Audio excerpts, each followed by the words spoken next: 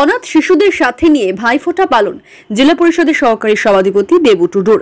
বর্ধমান শহরের বড় নীলপুর কোরাপাড়া ব্লাইন্ড একাডেমিতে অনাথ শিশুদের নিয়ে ভাইফোঁটা পালন হলো বৃহস্পতিবার। উপস্থিত ছিলেন জেলা পরিষদের সহকারী সভাধিপতি দেবু টুডু ও জেলা তৃণমূলের যুব সভাপতি রাসবিহারী হালদার, সর্বমঙ্গলা মন্দিরের ট্রাস্ট বোর্ডের সম্পাদক সঞ্জয় ঘোষ সহ এই দিনের অনুষ্ঠানে ব্লাইন্ড একাডেমির সদস্যদের নিয়ে ভ্রাতৃদ্বিতীয় অনুষ্ঠান পালিত হয়।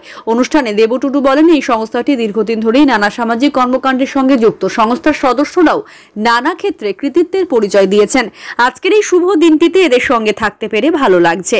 অন্যদিকে, ব্লাইন্ড একাডেমির এক সদস্য পূজা দাস জানান, দীর্ঘদিন এই সংস্থাতেই থেকে পড়াশোনা করেছিলেন, তার কোনো বাবা মা নেই। এই সংস্থা থেকেই কয়েক বছর আগে তাকে বিয়ে দেওয়া হয়েছে। এই অনাথ শিশুদের সঙ্গে এখান থেকেই সে ছোটবেলা থেকে বড় হয়েছে। এখন বিয়ে হয়ে যাওয়ার পর শ্বশুরবাড়ি থেকে প্রত্যেক বছর এই ভাই ফোটাতে এইখানে তিনি আসেন এবং তিনি এই ছোট ভাই বোনেদের ফোঁটা খুব আনন্দিত বলে জানান। জান নাম্বারটা বলো। কি নাম? পূজা দাস। তুমি তো এখান থেকেই পড়াশোনা করে বড় হয়েছো বিয়ে হয়েছে। কেমন লাগে এই জায়গাটা? আমার জায়গাটা আমার ছোটো থেকে আমার খুব ভালো লাগে এই জায়গাটা। আমি এখান থেকে মানুষ হয়েছি তো জন্য আমার এখানে খুব ভালো লাগে। তুমি প্রতিবার কি ফোটায় আসো? হ্যাঁ আমি প্রতি বছরই আসি এখানে। তোমার অনুভূতিটা কি? যে আজকে সবাই মিলে ফোটা দিলে দিলে তোমার অনুভূতিটা কি? আমি বলতে আমার এখানে ভাই বোনদের সাথে আমার খুব ভালো লাগে আসতে। মানে প্রায়ই আসি এখানে।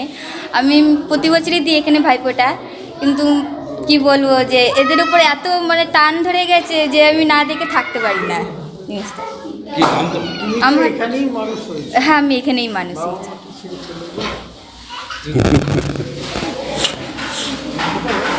হ্যাঁ মা বাবা বলতে আমি ছোট থেকেই হারিয়েছি এটা দেখিনি। কি নাম তোমার? পূজা দাস। হ্যাঁ আমি এখান থেকেই মানুষ। এখানেই এখান থেকেই বিয়ে হয়েছে? হ্যাঁ আমার এখান থেকেই বিয়ে হয়েছে। বর্দা দিয়েছেন বিয়ে কতটা আনন্দ?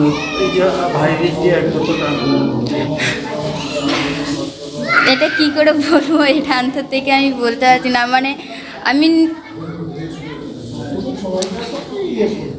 আমার বলতে মা বাবা অত নেই বলে আমি বলতে ভাই বোনদেরকে ওদের সাথে থেকে থেকে আমার এত টান হয়ে গেছে জিনিসটা যে আমি ওদের ছাড়া আমি নিজেই থাকতে পারব না। আচ্ছা কি নাম তোমার?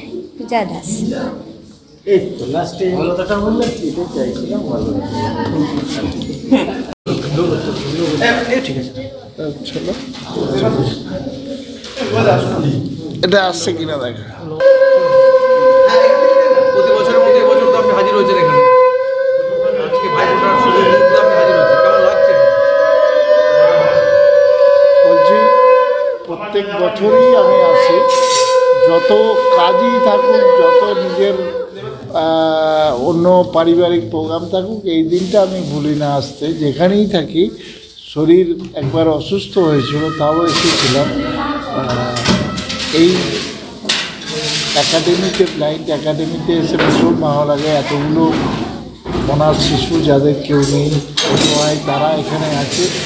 তাদের পাশে থাকার জন্যেই এবং তারা যে অসহায় নয়, এটা আমরা মনে করি।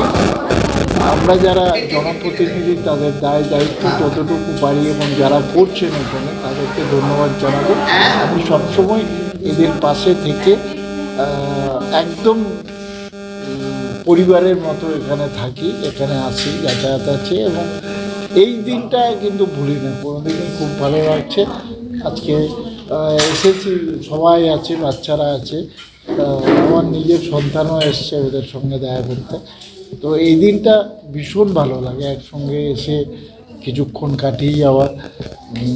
অন্য অনেকের ভাবে পালন করে, নিজের পরিবারের ভাইফোঁটা নিয়ে ব্যস্ত থাকে। আমি সব কিছু